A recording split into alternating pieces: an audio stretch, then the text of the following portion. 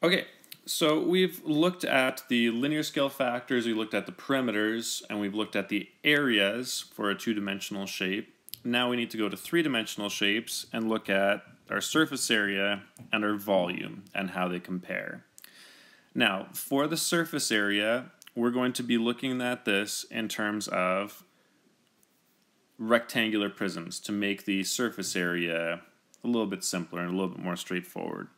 So remember, in this case, if this is my length, my width, and my height, for example, then my surface area is going to be 2 times length times width plus 2 times length times height plus 2 times width times height.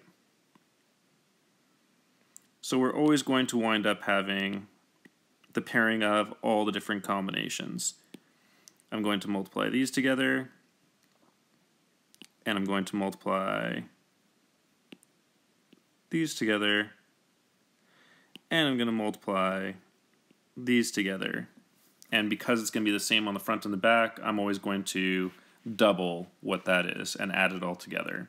So in the first case, the area of this is 46. If I double all the dimensions, and do the same thing again, 6 times 10 times 2, 6 times 2 times 2, and 10 times 2 times 2, and add it all up, I get 184. My new surface area is 184, my old one was 46, and it divides out evenly to become 4.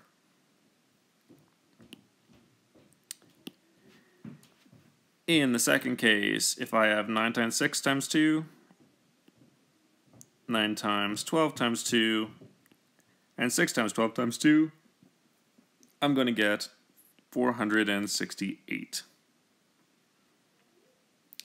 If I give them all a scale factor of 1 over 6, I'm going to have 1.5 by 1 by uh, 2.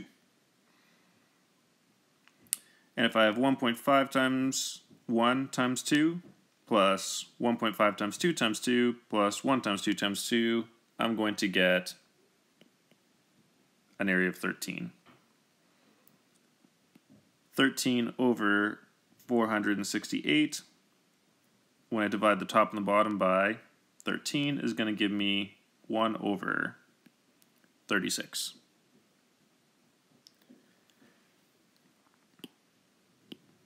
Moving on to the next one, I'm going to get an area of 184. When I multiply all dimensions by 3 over 2, I get 6 by 12 by 7.5, which is going to give me a surface area of 414.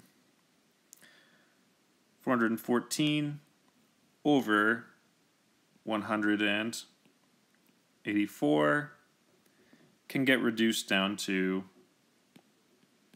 9 over 4.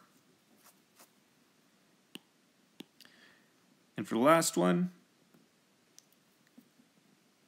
I'm going to have a surface area of 252. When I multiply all the dimensions by 2 over 3, I'm going to get 2 by 8 by 4. This is going to have a surface area of 112. And 112 over 252 is going to give me a reduced fraction of 4 over 9. If I compare these once again, the 2 to the 4 is just going to look like 2 squared. 1 over 6 to 1 over 36 is going to be 1 over 6 squared. 3 over 2 to 9 over 4 is 3 over 2 squared, and 2 over 3 to 4 over 9 is 2 over 3 squared, which means that the surface area is going to be the same as just a two-dimensional area. It's going to be the linear scale factor squared, or multiplied by itself. Volume will be a little bit easier. For volume, I'm just multiplying all the dimensions by each other. So 3 times 5 times 1 is 15. If I square it, 6 times 10 times 2 is 120. And 120 over 15 is going to give me 8.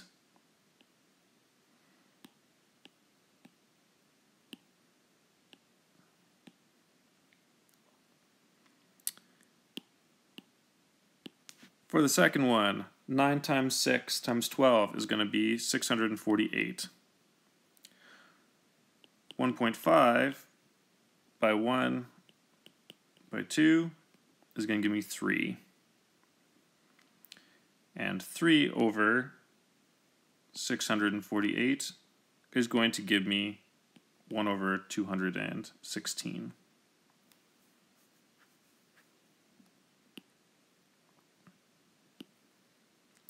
4 by 8 by 5 is 160. And 6 by 12 by 7.5 is going to give me 540. 540 over 160 is going to be the same as 27 over 8. And last but not least, if I have 3 by 12 by 6, I'm going to have 216 and 2 by 8 by 4 is going to give me 64.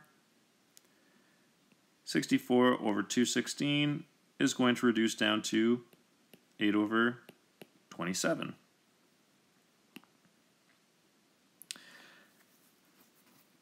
Now, if I look at the 2 to the 8, I need to multiply the 2 by 4 or in relation to the original number, I need to multiply the 2 by the 2 by 2 in last case.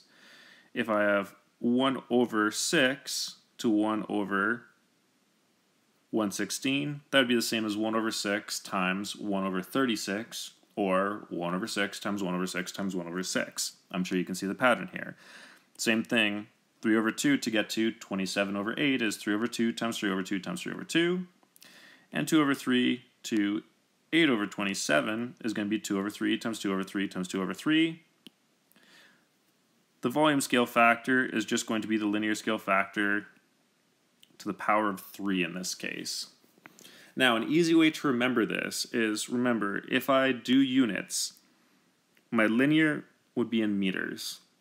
My area, or surface area, is always in meters squared, and my volume would be in meters cubed, the way that we express that tells you what I need to do to the scale factors.